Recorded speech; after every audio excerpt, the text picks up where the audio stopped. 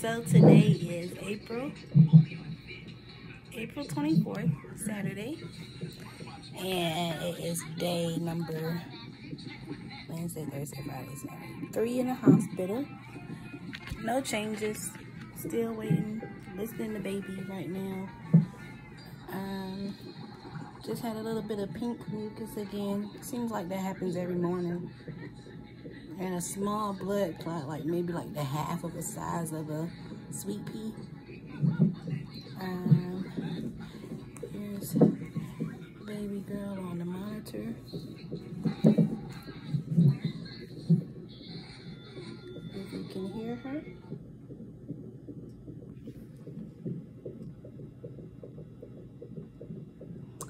Um, doctor came in. Same old, they just checked on me. Still haven't checked my dilation since Wednesday at the appointment and when I first got to the hospital, but they try not to mess with me to not aggravate anything. So, same mo. Husband's in the bathroom. Day three, we're kicking it. Trying to let her stay in there. I'm practically on bed rest. I just get up for bathroom privileges.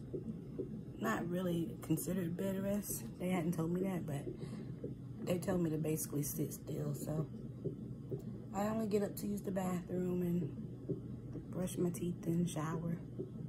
But that's all, guys. Bye.